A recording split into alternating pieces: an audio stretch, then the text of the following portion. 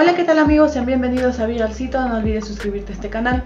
El presidente Bernardo Arevalo y la vicepresidenta Karim Herrera expresaron su beneplácito por el triunfo electoral de la candidata presidencial Sheinbaum y ratificaron el propósito de Guatemala de trabajar con el nuevo gobierno de México en beneficio de ambos pueblos. Felicitaron a Sheinbaum por su contundente victoria en las elecciones del domingo en México. La candidata ganadora de 61 años, postulada por el partido en el gobierno, se impuso con más del 60% de los votos.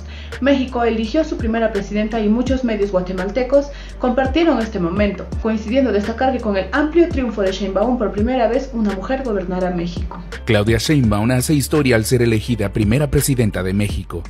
La izquierdista Claudia Sheinbaum hizo historia al ser elegida el domingo como la primera presidenta de México con una abrumadora ventaja y tendrá el enorme desafío de contener la violencia del narcotráfico y de género que mata a unas 30.000 personas al año. Sheinbaum obtuvo entre 58 y 60% de los votos, unos 32 puntos por encima de su rival de centro derecha, Xochitl Galvez. Según el conteo rápido del Instituto Nacional Electoral INE, la opositora registró entre 26 y 28% de los votos. No les voy a fallar, dijo Sheinbaum, de 61 años, emocionada y sonriente. El saliente presidente Andrés Manuel López Obrador celebró este lunes el triunfo como un hecho histórico y glorioso, al tiempo que confirmó que una vez que entregue el mando el próximo 1 de octubre dejará la política.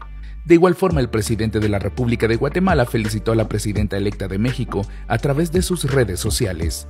La presidenta de México agradeció al presidente de Guatemala por la comunicación que sostuvo con ella, luego de conocer que había ganado las elecciones presidenciales de ese país. También afirmó que México y Guatemala comparten lazos históricos y culturales que les permitirán seguir trabajando por una vecindad próspera para el bienestar de ambos pueblos. Y bueno amigos, veamos cómo se desarrolla el gobierno de Sheinbaum en estos cinco años. Esperemos que la elección tomada sea para bien del país.